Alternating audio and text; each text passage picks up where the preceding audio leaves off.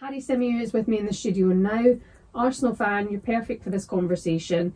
Um, Sam Morgan believes that people are waiting for Arsenal to fail, but Harry, we're friends now. We work together often. I even feel that there's an element of that from the fans' perspective as well. It's not. It's not um, a, a wanting Arsenal to fail or waiting for Arsenal to fail. What it is, I think, when you start a season with one expectation and then you get this deep into it and you realize that actually you could achieve something that was unthinkable when you set out. Mm.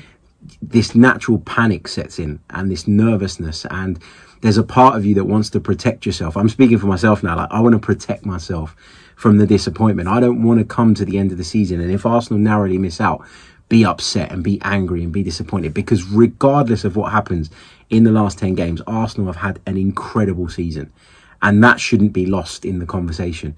So I don't think I, I think out, people outside are waiting for Arsenal to fail. I think people have enjoyed watching Arsenal fail over the last few years, uh, particularly when they started missing out on the top four. You know, look how far this club have fallen, etc., etc.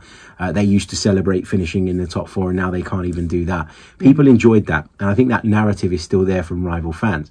I think there are a lot of rival fans that uh, have watched their clubs go and spend big money and, and sort of try and bring in blockbuster managers and it's not really worked.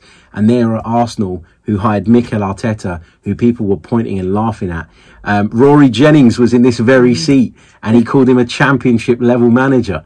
So people were waiting and expecting for this whole Arteta project to crash and burn. And Mikel Arteta is 10 games away from achieving something that is unbelievable. Winning the Premier League with what would be the youngest ever squad to do it. So yeah, I, I, think people are waiting for Arsenal to fail. They might fail because you know there are so many factors you have to put into this.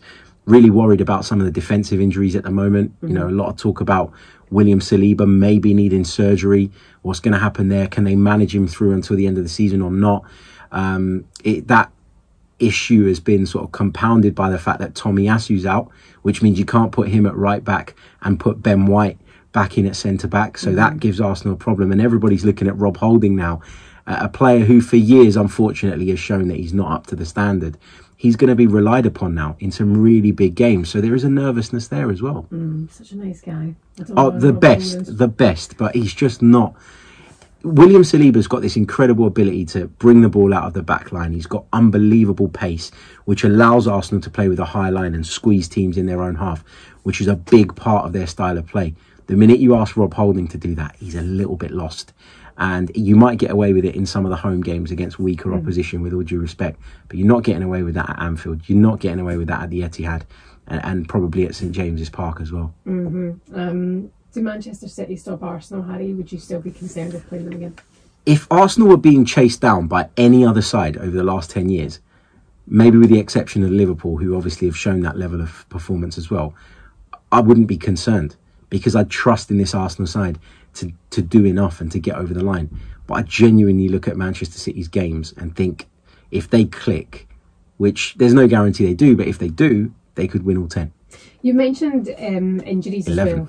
Yeah. Oh, oh wow, yeah, injuries as well. Um, this season and where you are at this point in the season, it's a dangerous time. Um, thinking about Jesus coming back though, there's pressure on him, isn't there, to provide goals. Um, but if you hadn't lost him earlier in the season, would Arsenal be further ahead in the table? Possibly, possibly. Um, Eddie Nketiah did a fantastic job, to be fair to he him. Really did. He really, really did. Mm. Um, he's not the same type of player as, as Gabriel Jesus. He's not as impactful in the build up. And what he was asked to do in Jesus' absence was do a lot of things that come unnaturally to him. Eddie Nketiah is a penalty box player, comes alive in and around the six yard box.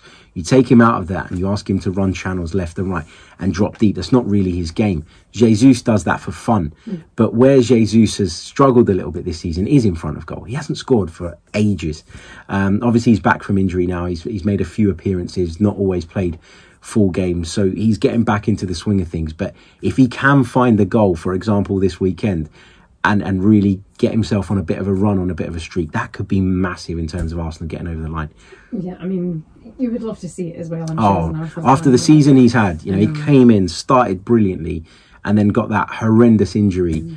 Um, whilst on World Cup duty, and, and he's missed a massive chunk of the season. I'd love to see him seal it um, Bukayo Saka as well. I mean, just what a, a, young star. He's the star boy, the poster boy. uh, how he represents himself on and off the pitch. He's just a lovable guy, and he's been Arsenal's most important player this season as well. What have you made of him? He's been un- unreal, unreal. Um, not just him though. I think you have to give props to Martin Odegaard, who's uh, really upped his outputs, goals and assists. Um, always looked great on the eye, Martin Odegaard, but he's really taken his game to another level. Martinelli too. And the combination of those three has compensated for the fact that Arsenal didn't have a centre forward for a little while and, and helped Arsenal even when Nketiah picked up his injury as well.